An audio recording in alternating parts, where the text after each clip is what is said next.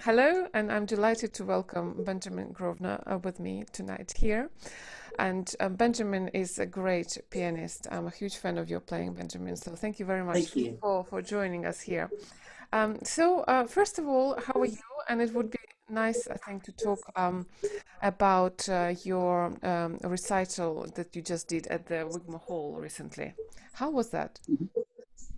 Oh, it was really lovely. I mean, you know, I've uh, been just at home now for three months, and it was fantastic to have that to look forward to and to be able to go and play in that beautiful acoustic. Um, uh, it yeah, it was very a very special experience. I felt very privileged to be able to do it, and it wasn't too strange playing to an empty hall. Really, I, I found it very invigorating and, and quite moving. Mm-hmm.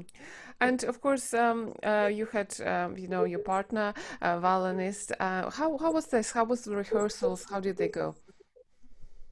Yeah, fine. I mean, we've been playing together for a very long time, and we met in 2013, and we met through playing with each other, and immediately we wanted to um, schedule more concerts mm-hmm. um, together. Um, so we've had a lot of experience with that, and um, it was, you know, just. Uh, I mean, what's been so oh, quite nice about the last three months is it's probably the in the uh, you know, nearly seven years that we've been together, one of the longest periods of time that we've been able to spend with each other because we're obviously both traveling around the world and in and out of places. And um, she she actually lives in Berlin. She's just visiting here at the moment. Mm. So, uh, you know, our lives can be quite complicated. So to have that time to be together and to, to explore music and then eventually to have this concert to look forward to is mm. very special. Yeah, fantastic. Uh, well, um, of course, uh, you know, you've, um, as I mentioned, uh, really an amazing pianist. So, can we go back to your childhood and how did it all start for you? Uh, were you sort of straight away into the piano? Um, not really. I my, my mother is a music teacher and a piano teacher. She, you know, she understands the value of uh, of children learning musical instruments, and um, I have four brothers, and we all she encouraged us all to learn something, um, but we all chose completely different instruments. Um, my eldest brother played the trumpet, and then next one down was uh, violin and guitar, and then clarinet and guitar. And then my closest sibling has Down syndrome. He also learnt the piano for a bit. Um, and uh, and I chose the piano. I don't remember why. I mean, the piano was always in the house. My mother taught in the house, so I, I heard it a lot. And uh, when I was five, I started learning it, but was didn't have any didn't have a great interest in it. Um, I think I learned to read music in about half a year, but um, I couldn't.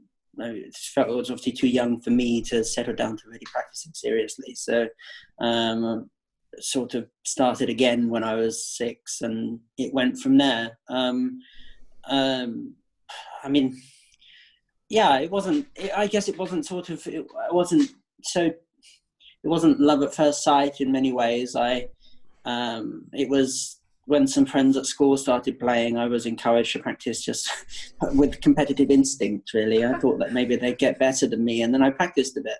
And because I put in that extra time and I had that motivation to put in the extra time, I was then able to play music that really satisfied me. And you know, I played a Waltz Chopin, and I think that's when it all started because when I was able to access that music and experience that, um, uh, it yeah, it began my life as a pianist, I suppose. And uh, sort of, how old were you when um, really no one um, pushed you any longer to sort of to play more and to practice difficult bits and pieces? Um, well, I think from that point onwards, it was always something I enjoyed. I think you know, I probably had to be reminded to practice, but I already by I think by the age of ten, I realised that this might be what I wanted to do. Hmm. You know, I might really? want to be a concert pianist. So that was very early. So I guess from that from that point, certainly the sort of um, the self drive was there.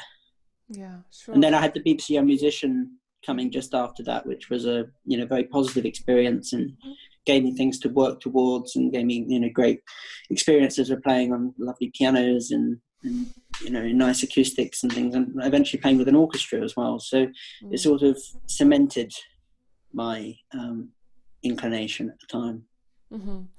What did you find um, uh, difficult at that time? Uh, I don't know, any particular kind of technical challenge that you were not happy about, or? Um, oh, it's hard to. It's such a long time ago now. It's hard to Mm. remember. Um, but uh, I mean, you know, obviously, I was, um, you know, well, my facilities were growing all the time. I mean, when you're ten, your your hands aren't fully grown, so there's a limit to what you can do.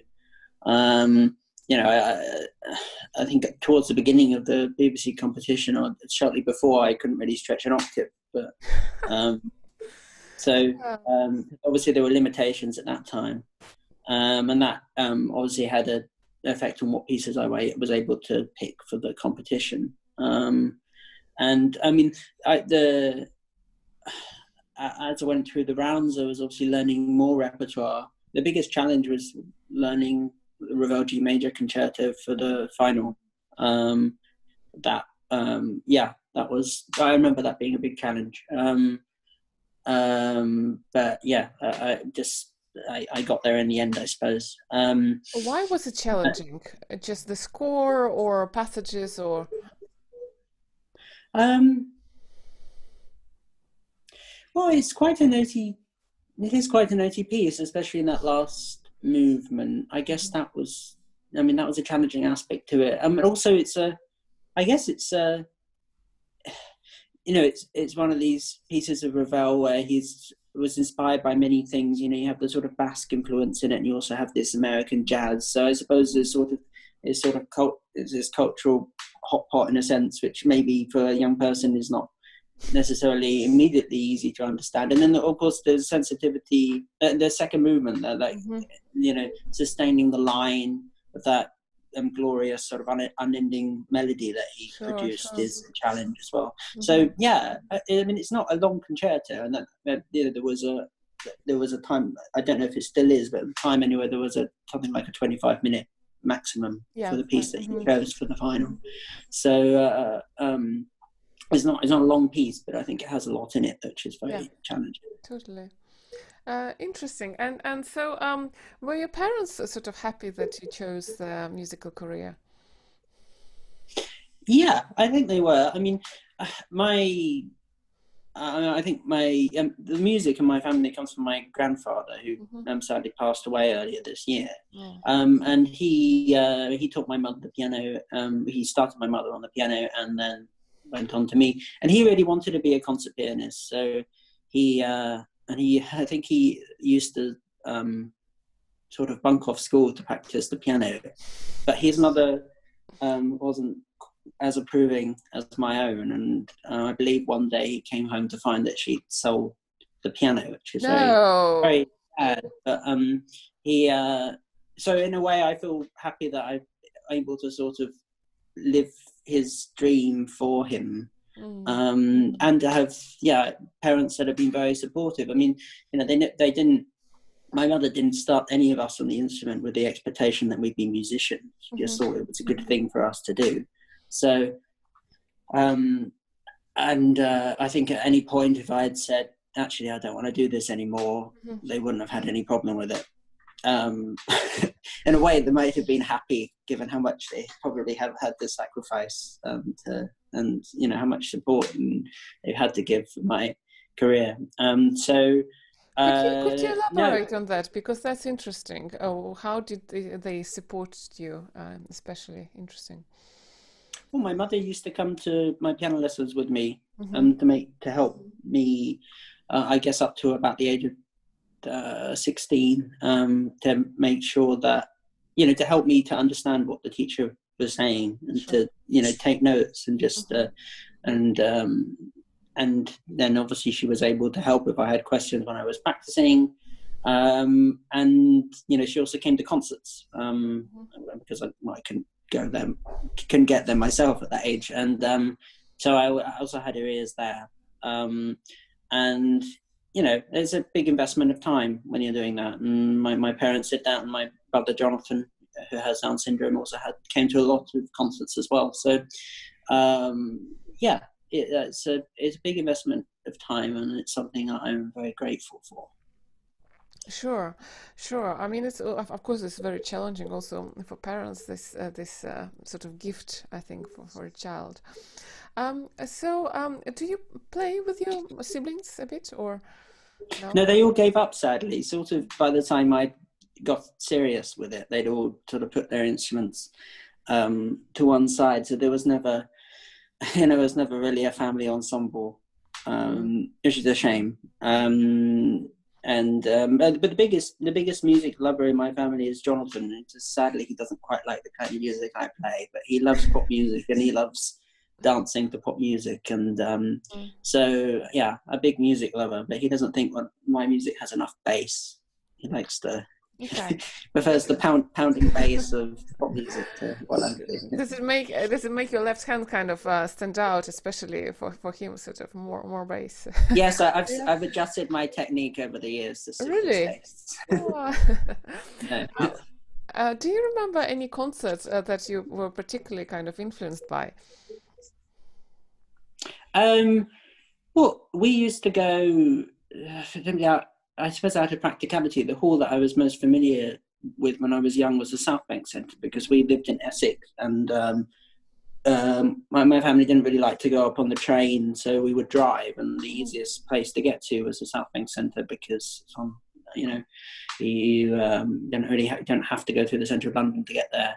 Um, so I went to a lot of performances there, often with my grandfather. I think some of my earliest recital experiences were with um, Louis Lortie, Stephen Hough, and Evgeny Kissin.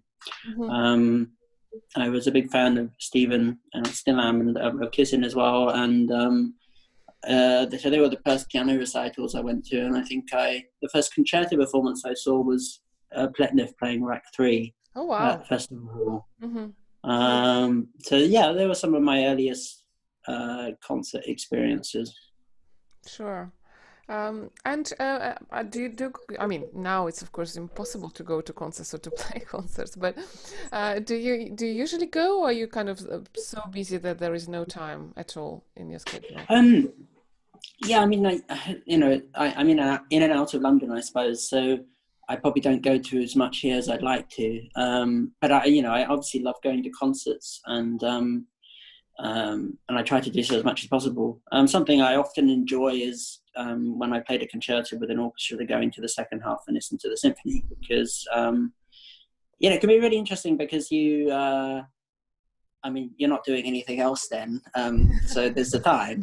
Um, but you, you know, you get to know repertoire quite intimately because you know there might be three performances and you hear the same piece three times. It's a way to expand your knowledge of the orchestra repertoire, and it's a very fulfilling experience, and also you know a way to get to know the orchestra uh, more intimately that you're performing with and the conductor as well. But uh, I wanted to ask you, so of course, um, as a result of being a successful uh, concert pianist, you need to repeat quite a few um, times the pieces you play, inevitably on tours. Um, so how do you find it? Uh, is it all the time sort of you try to think something different for the piece, or is the mood that changes, or? Um, I suppose no, I, I, you know, it will be a bit different each time. I, I sort of don't try to force that. I mean, I don't try to think I, I must do something differently today. I mean, you know, I, I'm sort of in a way grateful that we get to play, you know, pieces in a variety of circumstances, and obviously some of them can be, some of them can be really nice, and some of them can be more frustrating. Um, you you know, if you like a piano or don't like a piano, and the same with the acoustic as well. Um, but it, you know, it, um, but it does in a way keep things alive that you you have that variety um, and um, yeah on some pianos some things end up working better or you might discover um, you know certain colors that you can't find in another instrument and i think that in itself helps to keep things a little bit fresh Sure. um, I have a habit of uh, sometimes I, I mean I, I like to record all my recitals kind of from the wings if I can. Sometimes often the sound is Mhm. you know terrible, but um, it can be useful. And I don't I don't listen back to everything, but uh, Mhm. it, particularly for recital because it can feel it can feel very strange because you have this experience. You go on stage and you play and. Um, you haven't played with another musician, so there's sort of no one to Sure. give feedback. So I find just having that you know there in case I need it. If I want to listen to how four bars in you know in, one movement of a sonata when I can I can do that and I can listen back, and I find that very useful. Mm-hmm. Sure, uh, because some some people absolutely hate it. I mean, it's quite a, quite a painful experience. I don't like it. I don't think anyone likes hearing themselves play. I mean, it's like when you uh, no one really likes hearing their own voice on um, when they hear it recorded and played back to them. So I think it's sort of a similar experience. And I've had experiences where I've heard myself play and I haven't known it's myself for for a little while anyway. And then you sort of you you you feel kind of embarrassed that you actually reacted to your own playing positively. And somehow, as soon as you know it's yourself, your perspective completely changes. I find anyway, it's a weird psychological thing. Yeah. Um, but um, but I, I don't mind listening back to my past perform, you know, to sort of my last performance in a sense because I feel like it's a learning experience. What I don't really ever do, I mean, I haven't heard any of the CDs I've made since I made them because, um, yeah, I, I, it's you know, it's a it's a distant thing now, and there's nothing I can do to change the fact that they're there and publicly available. So it's there's not really a there's not really a positive aspect to it for me anyway. Yeah. So I haven't done that. But uh, when you of record, I know there are two ways of recording. So one is when your producer really tells you this is great, like basically you're done with this, and the other is of course when you sort of say I like that and I don't like this. Let's take this take. And uh, so, what type are you? Are you telling your producer I like that, let's use this, or does he tell you that sounded great? Um it's different with it, i mean it depends on who you're working with i suppose i mean with my recordings pre I, I i'd actually say my, my performing my recording experience recently with the chopin concerti had been quite different to the recording experiences i've had before because with my previous records i've really been quite hands-on with it and i wanted to hear mm-hmm. all of the material that was in the mm-hmm. in in the sessions and listen back and um and I, have done that. I don't think now that's a good thing to do. Um, and for the Chopin, I um, did my listening with the producer, who's an excellent, distinguished producer, John Fraser. Um, I did the listening with him in his studio, pretty much, and we heard the takes together. And I think that is a much healthier way to do it because you, um, because you know, there is this kind of neurotic thing that you have as an artist about hearing yourself playing, and you're not necessarily always the best judge of it. And having someone else there listening and being able to say, actually, maybe you should reconsider this um, can be helpful. Mm-hmm. Yeah, well, interesting. Um, you mentioned, um, of course, um, sort of uh, nerves and these funny things that one has in their heads. Um, are you a nervous performer? Not really anymore. I mean, I, I think going through it because I mean, I have been performing since I was very young, and I think I've gone through different phases. Mm-hmm. I mean, when I when I was eleven, it was the most natural thing in the world, and then you know you become a teenager, and everyone becomes a bit more self conscious anyway, and I think it became more difficult. Um, and then you know there were difficult periods, probably around the time when I sort of had my big break when I in 2011 when I, I played at the proms and things. I think performing suddenly had quite a lot of pressure attached to it but um, and I, but over time, I just yeah, I guess I got over that, and now, uh, yeah, I think just with more experience, I think the pressure that you feel tends to, at least for me, it's it's um, diminished. Um, so, but you know, obviously. You, you, you, get nervous, but not. I don't get nervous to the extent that it. I feel. I feel like it's a detrimental thing. Mm-hmm. But you need that. You know, you need that extra bit of excitement that the presence of an audience gives. Yeah. Um, but um, you mentioned that, of course, in your teenage years, you become sort of more self conscious. Um, so, uh, how did you cope with this sort of change? Because I know that everyone as a child can, almost everyone, play and don't think about it.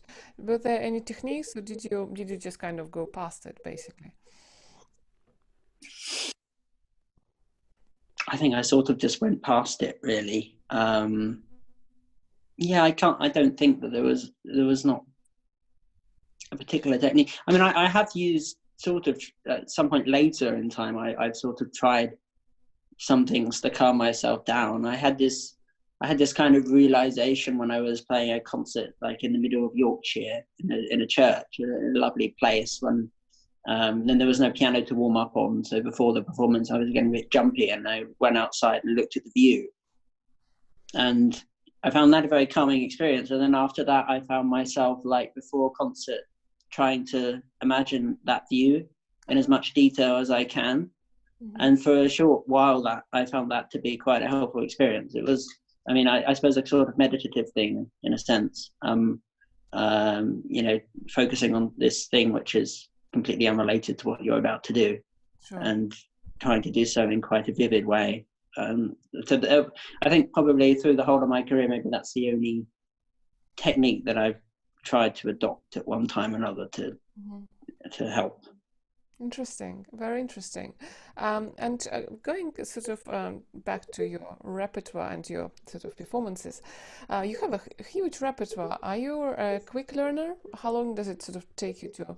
Uh, I, I, know there is not such a piece as a generalization, but um, yeah, fast learning type. Um, um, fairly. I mean, I know some people who, I mean, you know, who can learn things so, a lot faster than myself. Um, and um, you know, I, am certainly not a kind of John John Ogdon type um, learner. Um, but I, yeah, I wouldn't say I'm slow. Um, um, I mean, yeah, I mean, committing things to memory, I think for everyone is always a bit of a stress, and um, you know, and that takes it takes some time, obviously, depending on the music and the complexity of the music more difficult. But um, um, I, it's hard to sort of to, to, it's hard to measure this because it, yeah. each piece is different, and you can say, "Oh, yes, I learned this piece in this long," but and um, but yeah, it's hard to quantify. Mm-hmm. No, but uh, the the reason I ask, uh, and this is good you mentioned, because for example, if I talk for myself, I find sometimes uh, um, like Mozart and Haydn harder to remember that more than more complex um, sort of compositions like Rachmaninoff or Ravel because they're always changing. And let's say left hand um, uh, Alberti bass or something could be for me. It's like it's just repeated. It's just the same harmony. So, uh, well, I, I suppose. Um, but I mean, when I am memorizing something, I find work away from the piano to be very okay. helpful. Mm-hmm. Um, you know, maybe studying the score, or trying to sort of uh, to almost play the piece in your head. Um, and I, think you know, I think it's important to sort of build up a kind of multi uh, multifaceted memory experience of the piece. So, you know, you're not just relying on muscle memory. I mean, by the time you perform, by the time I perform a piece, you know, I know it to the extent that, yes, I can sit and hear it and I can sit and visualize the keyboard as I would be playing it. And probably I can also sit and visualize the score. Sure. Um, so, uh, and and also, I mean, you know, by the time you have a performance, you can your fingers can basically do it without much thought anyway. Mm. Um, but you can't rely on that solely because that's muscle memory is most sensitive to, um, you know, nerves and such. So um, yeah, I've yeah time away from the piano to help to develop that very multifaceted memorization of work is helpful. What, what are your average hours um, just on a non-concert day? Um, it's probably not more. Uh, it's probably not more than six hours a day. Um, probably. I mean, in, you know, in these days, I've sort of gotten to a pattern of doing maybe kind of three hours in the morning and then three hours later in the day. Mm-hmm. I mean, it's uh, it's an, sort of another ni- nice thing about this, you know, in many ways, unfortunate time that we're living in that there has been time to sort of think about um, practicing and what works because you know a lot of the time when you're in the midst of a touring schedule you're sort of you know you're paddling away working for the next thing and there's not there's not necessarily the time to reflect on it you know and i realized that i work best in the morning so i try to do a good three hours in the morning for sure um, and then I, I, I find that i suffer from an after lunch slump so I've been realizing that um, that's a good time maybe to have a walk or to do something else. Um, and then maybe later in the evening I might do the other three hours if I need to. Mm-hmm. Um, so yeah, I mean, I mean, obviously when I've been younger, there have been times when I've practiced more and yeah, I, I, you know, it depends how. It also sort of depends how much you have on your plate as well, and how much you're yeah. on at any time. Um, you've mentioned these weird times, and of course, it's uh, really strange. Um, so, how are these days for you? Are you working on the new repertoire? Are you trying to polish the olden repertoire? Do you tackle things that you always wanted to tackle now, or?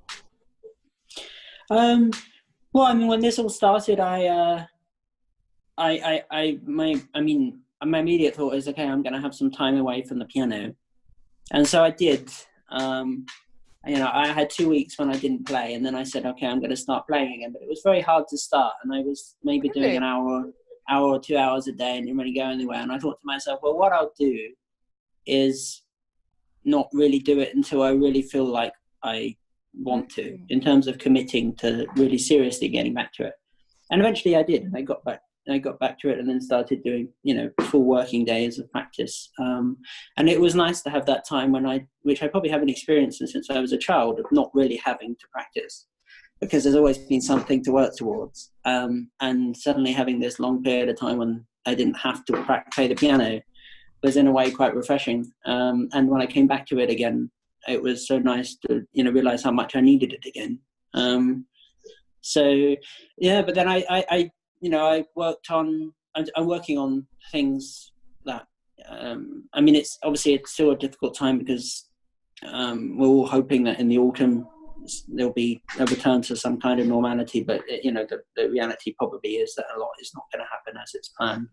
Um, and so you still don't quite know what you're working towards in the immediate future. Um, but I, I have been working on new repertoire for next season. Um, I've been working on a um, potential recording project. Um, I've been working on, and now and now I'm at the point where I, I need to think about, um, you know, what of like concerti I have played before. I, in the autumn, I have a lot of dates with concerti I've played before, and it's Mhm. getting to the point where I need to turn my attention to them if those Yeah, concerts are going to happen. So I'll start to let that repertoire um, come in as well.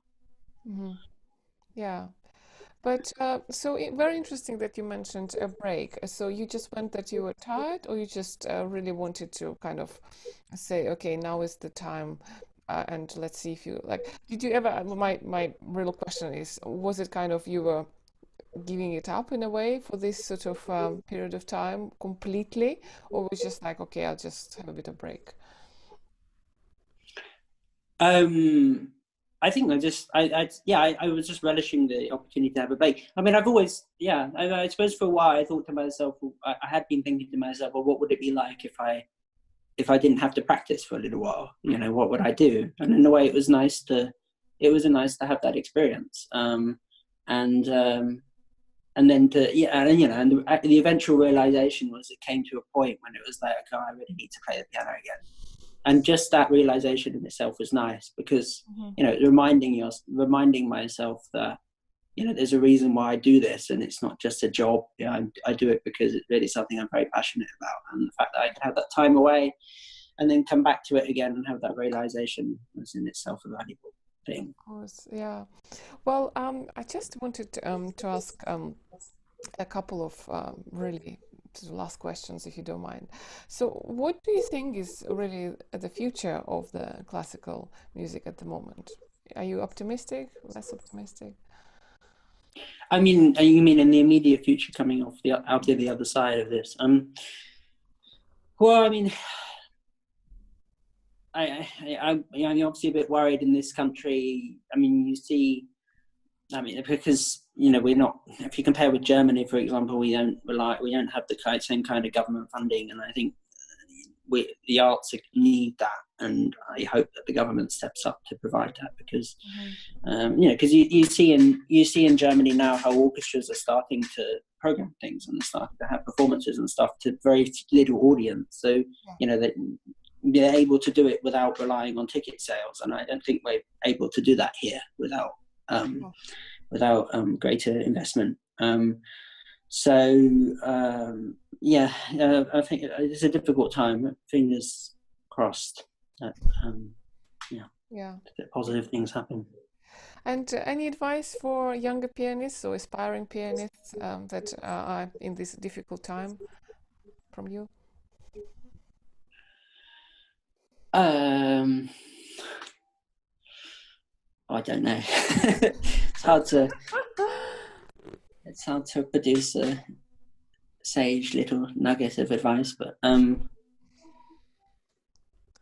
yeah, I'm not sure. I, I yeah. I, I mean, I guess if they love playing, they should really continue playing. But uh, yeah. Yeah, no, I think that's that's certainly always good advice. Yeah, I mean, you know, I suppose, yeah, I, I found this time valuable to remind myself why I love what I do. Mm. Um, and, you know, it's good to have had the extra time for that to be able to happen. Yeah, yeah. Well, look, thank you very much. It's, it's uh, been great talking to you and um, uh, look forward to hearing you soon, hopefully in the future. Thank Thanks. Bye bye. Thanks very much. Bye.